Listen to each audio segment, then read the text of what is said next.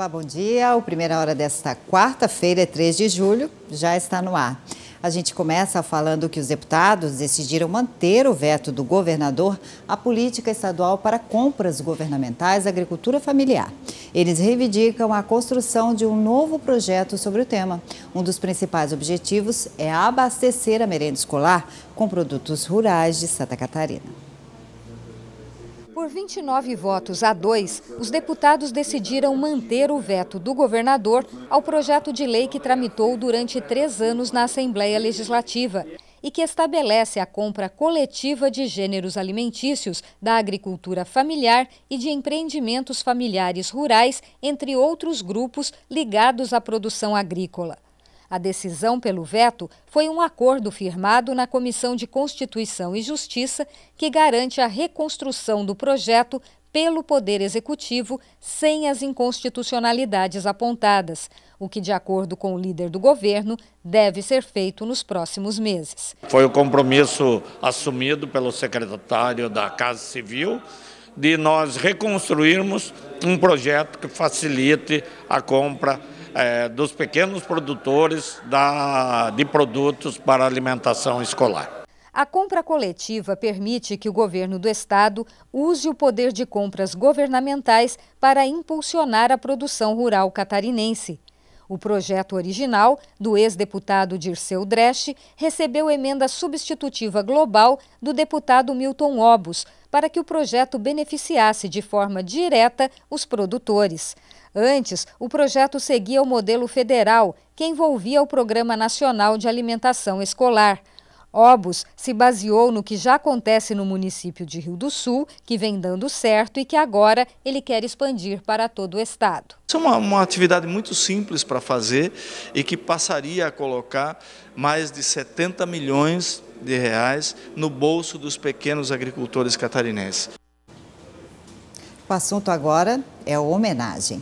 No Dia Nacional do Bombeiro, comemorado ontem, o deputado Coronel Mocelin concedeu moções de aplauso para duas mulheres que se destacaram na profissão. A guarda-vida civil Tuane e a cabo do Corpo de Bombeiros Militar Estefânia foram homenageadas com moção de aplauso da Assembleia Legislativa. Estefânia foi a primeira mulher a ser promovida por ato de bravura na história dos bombeiros de Santa Catarina. A promoção aconteceu depois de uma ocorrência em Florianópolis em 2017. Foi uma parada cardiorrespiratória, até então era uma, uma ocorrência comum para nós. Aí chegamos lá, começamos a fazer nosso procedimento, toda a guarnição. Passado uns 5 minutos de atendimento desse masculino, aproximadamente 30 anos, é, pelos familiares que estavam no quarto, começou a aumentar a tensão, a mãe chorar bastante, gritar. E num ato de desespero, no momento que ela queria acabar com a dor, ela tirou uma pistola debaixo do colchão e ela gritou que ia se matar. E nesse momento um familiar tentou socorrer e tirar a arma dela e caiu no chão, não conseguiu.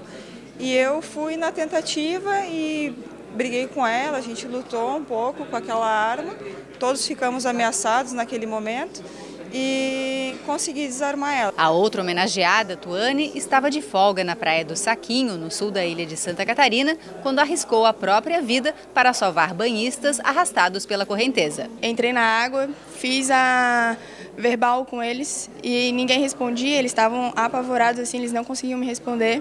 Até que a aeronave chegou, desceu um tripulante e a aeronave saiu para outra ocorrência. Então ficou só eu, tripulante e mais um outro menino com uma pranchinha. Foi onde a gente conseguiu descansar um pouco ali e em três a gente conseguiu tirar ele e no fim deu tudo certo. Assim. A bravura das duas mulheres motivou a concessão das moções de aplauso, entregues pelo deputado Coronel Mocelin. É uma representação de todos os bombeiros militares, guarda-vidas civis, bombeiros comunitários, bombeiros voluntários do nosso estado, que diariamente eles submetem a risco, salvando milhares de vidas, de patrimônio. Então, isso é um reconhecimento de todo o corpo de bombeiros militar e voluntário comunitário do estado Estado de Santa Catarina e do Brasil. Duas frentes parlamentares serão lançadas hoje aqui na Assembleia. As informações com Deluana Bus. Segundo o estudo realizado pela Associação Brasileira de Empresas de Limpeza Pública e Resíduos Especiais, cada brasileiro produz em média 383 quilos de lixo por ano. Só em Santa Catarina são geradas mais de 4.600 toneladas de lixo por dia. Para buscar soluções para a destinação desse material, a Assembleia Legislativa realiza nesta quarta-feira, à uma hora da tarde, o lançamento da Frente Parlamentar em Defesa da Cadeia Produtiva da Reciclagem. Temos um planeta que somos responsáveis por ele, né? Então, tão logo nós fortalecendo, incentivando a reciclagem e através do nosso apoio, através da legislação, nós vamos estar criando oportunidades para recicladores, criando oportunidade de um planeta limpo, vamos estar criando oportunidade de geração de emprego e de renda. É, o lixo, na verdade, uma grande parte do lixo, ele é dinheiro jogado fora. Então nós temos que fazer com que esse dinheiro ele não seja jogado fora, não seja enterrado com dinheiro público. Também nesta quarta-feira, às 5 horas da tarde, a Assembleia Legislativa lança a Frente Parlamentar da Vitivinicultura. O setor vem crescendo no Brasil e Santa Catarina se destaca pela qualidade da produção de uvas. Atualmente, o estado é o quarto maior produtor da fruta no país. Só na safra do ano passado foram colhidas cerca de 61 mil toneladas de uvas, em grande parte destinadas à produção de sucos e vinhos. O objetivo da frente parlamentar é apoiar o setor. É uma atividade que representa bastante para Santa Catarina, são muitos empregos que estão em jogo, por isso nós defendemos não apenas a permanência, como o estímulo a que famílias que deixaram de produzir que voltem a, a, produzir a, a, sua uva, que façam o seu vinho, o seu suco, enfim, que possam fazer desta atividade uma atividade econômica rentável. Vamos saber quais as atividades de hoje aqui na Assembleia. Às 10 horas tem reunião da Comissão de Pesca. 11h30 se reúne a Comissão de Defesa dos Direitos da Pessoa com Deficiência. Uma hora tem lançamento da Frente Parlamentar em Defesa da Cadeia Produtiva da Reciclagem. 1h30, Comissão de Direitos Humanos. Duas horas da tarde, sessão ordinária. Às 5, CPI da Ponte Ercílio Luz, no mesmo horário, lançamento da Frente Parlamentar em Defesa da Vitivinicultura. E parece que o frio continua em Santa Catarina.